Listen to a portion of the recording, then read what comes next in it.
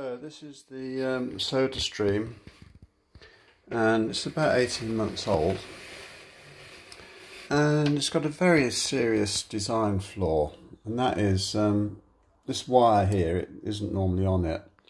All you've got is this little this lever is uh, releasing the gas.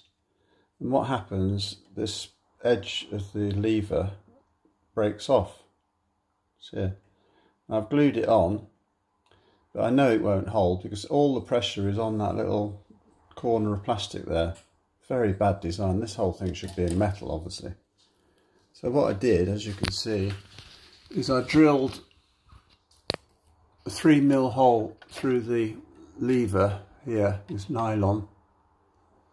And then I ran two pieces of metal wire. One through the actual bar itself, which is like the pivot and then another piece through the new hole that I made. And then I bent them over after I glued it with super glue. Then I bent this um, I pulled out the wire bent it 90 degrees pushed it back through bent that over because this one this edge was still holding and put this new piece.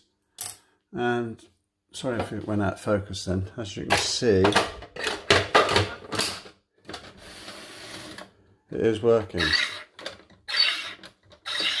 So you know, bad design. This is like 100 quid, these things. Can't get it off one hand. But anyway, you can see how to uh, repair it and mod it. Let's see how long it lasts. Cheers.